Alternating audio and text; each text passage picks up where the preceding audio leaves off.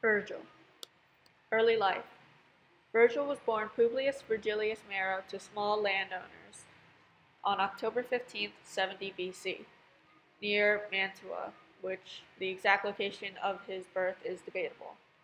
His places of education were Rome, Naples, Cremona, and Milan, and he was educated in rhetoric and philosophy.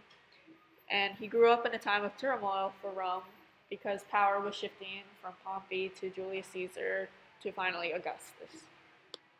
Here's a map of Mantua and its relative location to the rest of Italy. Virgil's most famous work is the Aeneid, which is an epic poem in 12 books, and it tells the story of Aeneas, a Trojan prince who was exiled from Troy when it was destroyed by the Greeks and was the legendary founder of the first Roman settlement. Virgil died while writing the Aeneid, and it was published after his death by the people who carried out his will, and it was a widely popular book in Rome.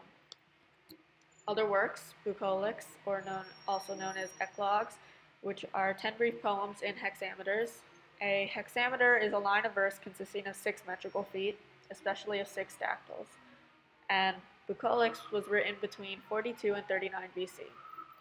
Georgics is a didactic poem in four books of hexameters completed in 29 BC. Both works were about farming and were influenced by his rural childhood.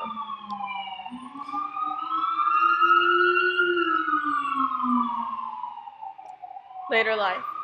Virgil did not participate in politics or the military due to his health, which was never very great.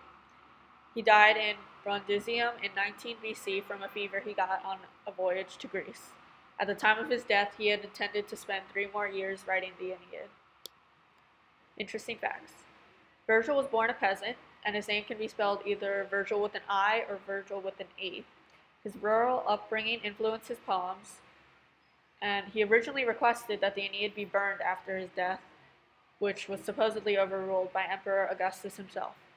He was a very popular Roman poet and was imitated by Ovid